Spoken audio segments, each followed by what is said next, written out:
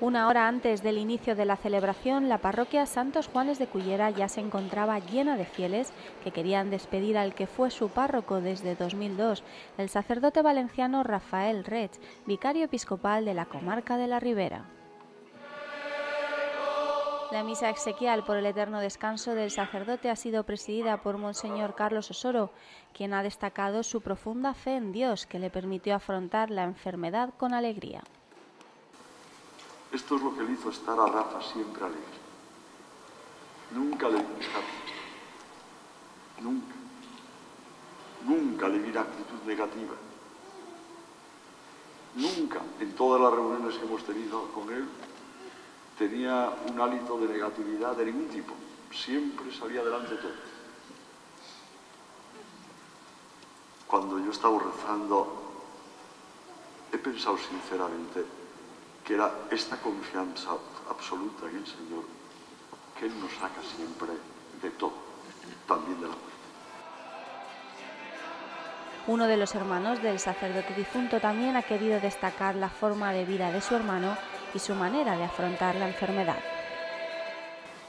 Yo diría que no hizo otra cosa más que amar.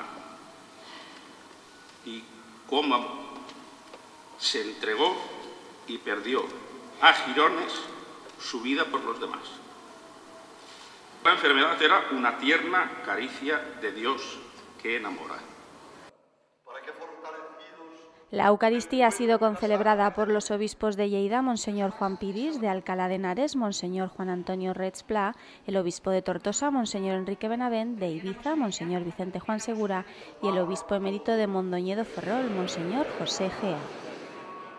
Junto a ellos han concelebrado 150 sacerdotes, entre ellos el vicario general de la Diócesis de Valencia, Vicente Fontestad, y el de Alicante, Francisco Conesa. Terminada la celebración, tanto los fieles que llenaban el templo como las personas que se encontraban en el exterior han despedido con un prolongado aplauso al sacerdote, cuyos restos mortales han sido trasladados hasta Cocentaina, su localidad natal, en donde recibirá sepultura.